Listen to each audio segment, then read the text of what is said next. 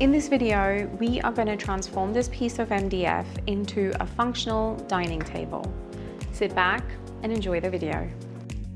The first step is to prime the surface and um, I'm using gesso uh, for this project and I like to use a roller, you could use a brush, but basically you want to get a smooth application of gesso um, and probably a couple of layers I would say. I ended up doing two layers and make sure you address those edges and get those primed as well and you might want to sand between the layers just to make sure your surface is smooth for the resin.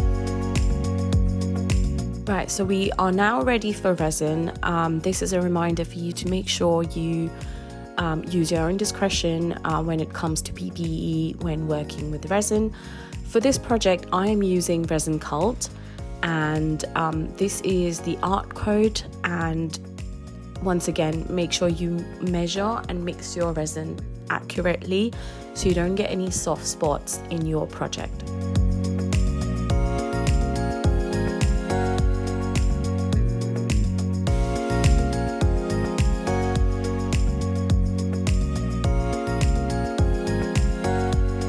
So now the colors I'm using for this project are mostly um, blues and teals um, and greens with a slight touch of an earthy element um, that I've gone for this bronzy brown color and um, a few whites. Um, this is the requirement of this table and um, I, I've decided to go for a dirty pour for this just because I love the flow and movement of um, a dirty pour. So that's me making the cup. And I like to make um, the, the dirty pour one cup at a time, just so then I can see what colors are coming out of the cup and then I can make the next cup accordingly if I want it to be darker or lighter. Just helps me to do it this way rather than mixing all of them at the same time.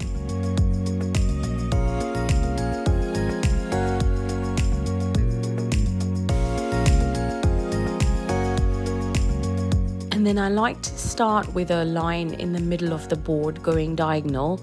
So that will be my starting center point and then it's just a case of building around it.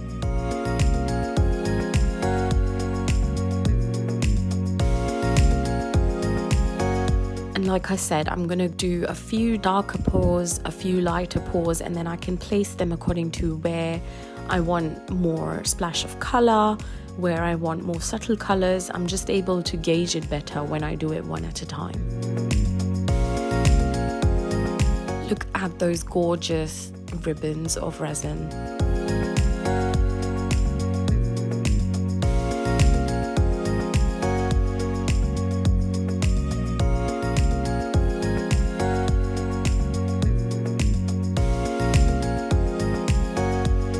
Feel free to use your fingers and your hands to sort of meld in bits, um, meld in colors, just to make them look like they have a flow and movement to the piece.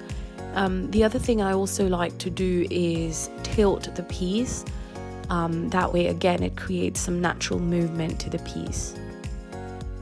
Then it's a case of just filling in the gaps. And I like to add another few wanes once all my board is covered with resin.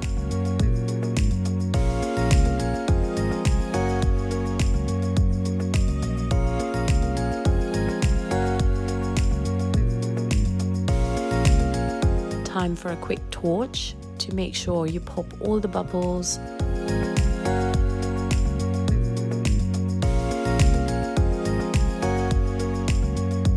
I also like to use this um, air blower um, just to again soften some of those veins and lines. I will link all of the supplies in the description below. So I'm, I'm going to let this set for a couple of hours and then it is time to pull the tape. Now the perfect time to pull the tape depends on a lot of factors. It depends on your resin, it depends on the temperature of the room, the humidity, but basically you want to do it at a time when the resin is almost, I would say, 30% set, but still flowing like really slowly.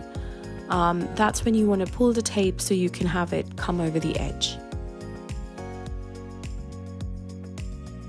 Right, now my resin is fully cured and what I like to do on my functional art pieces is to coat it with this product by Stone Coat Countertops. It is an anti-scratch um, finish and I've gone for a matte finish on this one. And this is a product that you apply with a roller, with a wet roller, and then you go over with the dry roller to take off the excess product. If you'd like to see detailed videos of how this is applied, um, you can head over to RK3 Designs or um, the YouTube channel of Stone Coat Countertops.